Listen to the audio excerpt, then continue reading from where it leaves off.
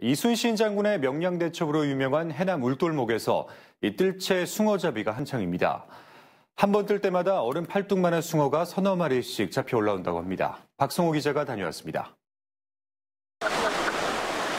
이순신 장군이 12척의 배로 일본군을 막아섰던 해남 울돌목. 올라온다. 올라온다 온다. 구경꾼들이 술렁거리자 갯바위 위에서 바다를 노려보던 뜰채꾼의 손놀림이 바빠집니다. 뜰채가 순식간에 바닷속을 훑고 얼음 팔뚝만한 숭어가 잡혀 올라옵니다. 한 시간여 만에 통하는 팔딱거리는 숭어로 가득 찹니다. 낚시하고는 비교가 안 돼요.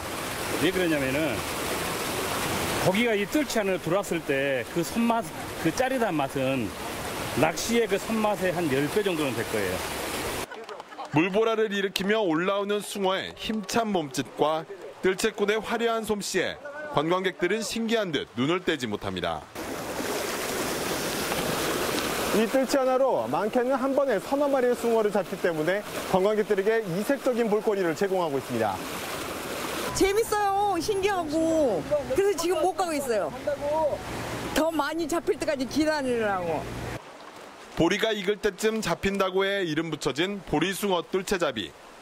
늦봄부터 초여름까지 계속됩니다. KBC 박성호입니다.